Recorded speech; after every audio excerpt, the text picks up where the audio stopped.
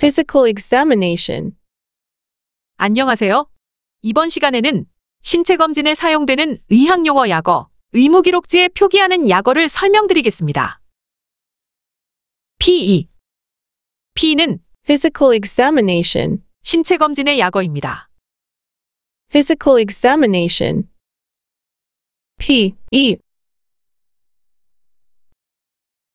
H E E N T. H-E-N-T는 Head, eye, ear, nose, throat. 머리, 눈, 귀, 코, 목의 약어입니다.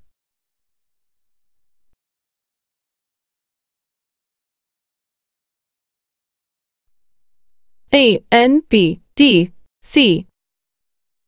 Anorexia, nausea, vomiting, diarrhea, constipation, A-N, V, D-C는 anorexia, 식욕부진, nausea, 오심, vomiting, 구토, diarrhea, 설사, constipation. 변비, 즉 ANVDC는 신체 검진 중 소화기 상태를 체크할 때 사용되는 약어입니다. F C C S R fever chill cough sputum rhinorrhea FCCSR은 열, 오한, 기침, 객담, 콧물의 약어로 호흡기 상태를 검진 시 사용됩니다. F U N D frequency urgency nocturia dysuria FUND는 빈여, 절박여, 야녀, 배뇨곤란, 배뇨 기능, 비뇨의 검진 시 사용되는 약어입니다. T P R temperature pulse respiration TPR은 체온, 맥박, 호흡의 약어로 바이탈 사인에 사용되는 약어입니다. BP는 blood pressure 혈압의 약어. 아이네노는 intake and output 섭취량과 배설량을 의미합니다. AW associated with A, W는 무엇과 연관된의 뜻으로 A, AW, B는 B와 관련된 A를 뜻합니다. 즉, A의 증상이 B와 관련 있다. B에 의해 A의 증상이 발현되었거나 영향을 입었다는 의미입니다. 예를 하나 들어볼까요? 다음의 문장을 읽고 뜻을 유추해 보세요. nerve injury associated with clavicle fracture 참고로 FX는 fracture 골절의 약어입니다.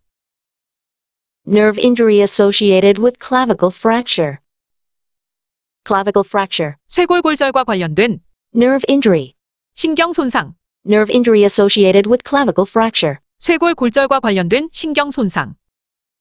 AW와 비슷한 의미의 용어로는 DT due to 무엇으로 인해, 무엇 때문에, B에 의해 발생한 A.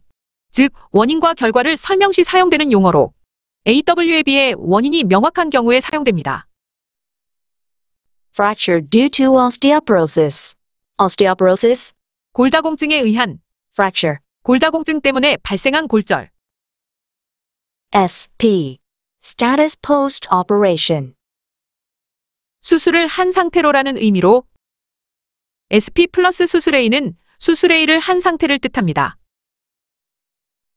Status post cholecystectomy cholecystectomy 담낭절제술을 한 상태.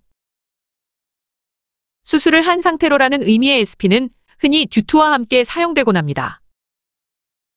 status post pacemaker placement due to heart failure heart failure 심부전으로 인해 pacemaker 페이스메이커를 삽입한 상태라는 뜻입니다. status post pacemaker placement due to heart failure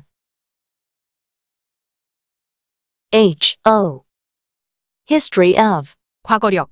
히스토리 어브 다음에 병명을 붙여 사용되고 과거에 어떠한 병을 알았다를 의미합니다. history of pneumonia 과거에 폐렴을 앓은 경험이 있다는 의미죠. CVA history of T I A CVA history of pneumonia 현재는 CVA, 즉 뇌졸중으로 병원에 왔지만 과거에 TIA, 일과성 허혈 발작과 유모니아, 폐렴을 앓은 적이 있다는 의미입니다.